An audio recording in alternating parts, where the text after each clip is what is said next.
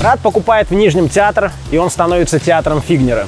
Сестра сидит в Шлиссельбургской крепости. Брат – солист Его Величества, звезда не только Нижегородской ярмарки, а Российской империи, о котором пишут все газеты. Сестра участвовала в убийстве отца Его Величества, и СМИ о ней помалкивают. Но при новой власти все меняется. Брат уходит в тень, хотя мы скажем о нем отдельно в другом сюжете. Именем ее сестры называют улицы, даже здесь, в Нижнем Новгороде, где она жила после отсидки. Если бы существовал конкурс красоты среди революционерок, то первое место в нем, скорее всего, заняла бы Лариса Рейснер. А вот на втором месте утвердилась бы Вера Фигнер. Интересно наблюдать, как Фигнер в порыве современных феминисток сознательно выхолащивала из своего образа все атрибуты женской привлекательности, что наглядно показывает фотографическая эволюция, представленная вашему взору. Но природную красоту не скроешь и внутреннюю сексуальность тем более, поэтому ее воздействие на мужскую половину было зачастую магическим. Именно по этой причине ее вместе с Желябовым исполнительный комитет народной воли отправлял агитировать морских офицеров в Кронштадт. После ее речей они готовы были хоть завтра идти свергать царя. Инна Стогова, мать поэтессы Анны Ахматовой, говорила, что у Фигнер точеная красота. Довольно долгое время Варварская улица носила ее имя, при том, что на ней никогда не было адресов, связанных с известной Нардоволкой. Их следует искать на улице Студеной и Ильинской. Но настолько колоссальной была эта фигура в контексте советской истории, что ее топонимически вознаградили самым центром Нижнего. И это довольно иронично, потому что Фигнер советскую власть так и не приняла. Сталина считала тираном и занималась, по сути, тем, что сейчас принято называть правозащитной деятельностью. Но именно она была среди идеалистов-первопроходцев, кто заварил всю эту революционную кашу, буквально взорвав Александра II, памятник которому стоял в двух шагах у истока Варварской улицы. И в этом очередной зигзаг идеологического пути через терник звездами обратно. Памятник царю-освободителю снесли, рядом прилегающую улицу назвали в честь одной из тех, кто лично помогала делать бомбы для его убийства. Пока новейшее время не уравняло всех в небытие. Нет ни памятника, нет ни улицы в честь Веры Фигнер. Вера Николаевна – настоящий апологет борьбы с властью, по пословице «аппетит приходит во время еды». Сначала ради революции бросила мужа. Затем учебу в Цюрихе, хотя влюбленный в нее Морозов, который потом вместе с ней сидел в Шлиссельбурге, убеждал ее не делать этого. Весной 1880 года в Одессе производился подкоп, но на этот раз для убийства не Александра II, а правителя канцелярии графа Татлебина, статс-секретаря Панютина. После того, как 1 марта 1881 года царь был отправлен на тот свет, Фигнер предлагала не ликвидировать сырную лавку Кобозевых, откуда был проложен очередной тоннель для закладки мины, а использовать ее уже для убийства новоявленного императора Александра III. Она была единственной, кто выступил с подобной инициативой. А спустя год в Одессе она организовала убийство военного прокурора Стрельникова, осуществленного Николаем Желваковым и Степаном Халтуриным. То есть, если бы не случилось ее ареста, то кровавый след народной воли тянулся бы еще долго. За свои смертоносные эскапады Вера Николаевна поплатилась сполна 20 лет в Шессельбурге. По выходе оттуда она стала иконой борьбы с самодержавием, по выражению Василия Розанова, революционной Богородицей. Викентий Вересаев назвал ее великолепным экземпляром сокола в человеческом образе.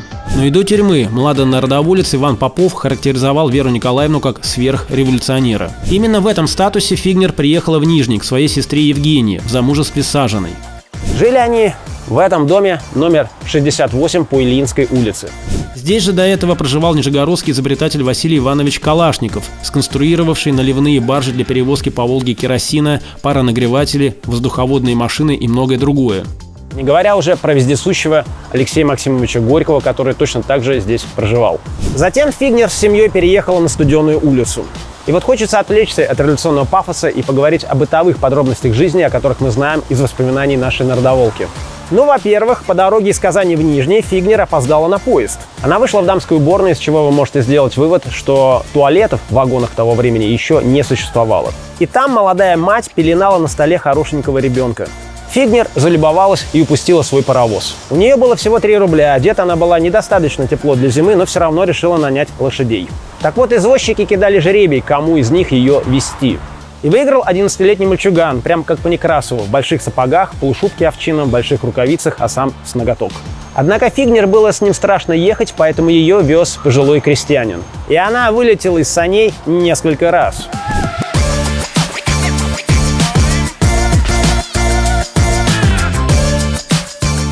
Интересным выглядит описание обыска, произведенным здесь, в Нижнем, у Веры Фигнер. Пристав явно умышленно встал у комода спиной ко мне, как будто давая знать «прячьте, что у вас есть». Но я не решалась наполнить карманы массой записок и писем, и в горестной нерешительности сидела перед выдвинутым ящиком, думая, что карманы все равно обыщут. Выручила сестра Женя, она подошла к столу и подставила свой фартук и карманы, знаком показывая, чтобы я складывала в них документы. Когда я сделала это, она вышла в другую, уже обысканную комнату и сложила все в свой комод. Какие-то вегетарианские нравы. Наконец, чтобы дать выход своей неуемной энергии, Фигнер занялась разведением мяты. Для выработки мятного масла, которое ввозилось тогда из Германии. Она купила в московской аптеке Феррейна нужное количество корневищ, Засадила ими часть земли вокруг усадьбы в селе Никифорово. Наладила ирригацию, завесила сушеной мятой все комнаты и чердаки. Отчего у самой Фигнер и у ее сестер появилась крапивница и головные боли. В результате она продала Ферейну бочку сушеной мяты за 25 рублей выгнала в Нижегородской лаборатории коммерческого училища масло, которое раздала друзьям и знакомым, а остатки продала за 8 рублей в аптеку. Все население села Никифорово пило квас с мятой и употребляло ее при желудочных заболеваниях. И вот что пишет несостоявшийся предприниматель Вера Фигнер. Мое начинание получило широкую огласку, и однажды, к моему удивлению, я получила официальное предложение от медицинского департамента взять ассигнование на постройку завода для выработки мятного масла. Конечно, я не хотела зарыться в подобное предприятие и отказалась. А в Нижнем я получила приглашение на совещание по культуре медицинских растений. И в этом вся Вера Фигнер. В то время как на том берегу брат владеет театром и является настоящим народным любимцем, ей предлагают заняться с государственной помощью выработкой мятного масла.